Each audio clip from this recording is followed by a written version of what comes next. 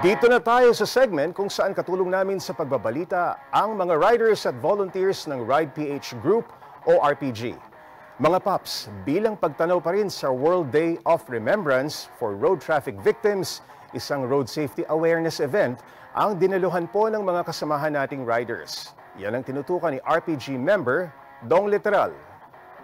Ayan mga paps, nandito tayo ngayon sa may CHR along Commonwealth dito sa Quezon City para sa event ng mga riders, ang World Day of Remembrance of Road Traffic Victims. Tara, check natin. Ka Robert, para saan po ang pagtitipon na ito? Ang pagtitipon na ito ay kauna na ginagawa natin tuwing sasapit ang Nobyembre kung saan ginugulita natin ang mga namatay sa kalye.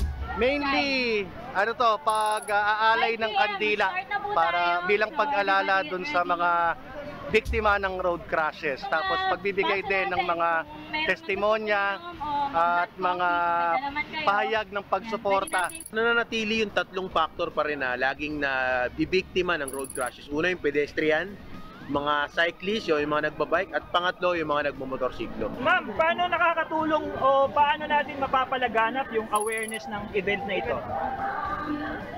Sa tulong ng mga clubs na naririto, na binigyan ng basic orientation at kaalaman sa basic na karapatan ng bawat tao, mas marami pa tayong mga tao na marireach Ah, mas marami ang dumating ngayon na taga Bulacan, Manila, ah, Quezon City. Tapos mayroon pang darating na taga Rizal.